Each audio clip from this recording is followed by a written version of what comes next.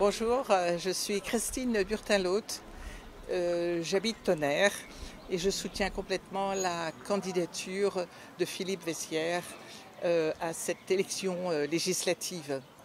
Parce que face à l'extrême droite, j'appelle à voter pour le nouveau Front populaire. L'extrême droite est l'ennemi des femmes, l'ennemi des LGBTQIA, l'ennemi des minorités, l'ennemi des pauvres.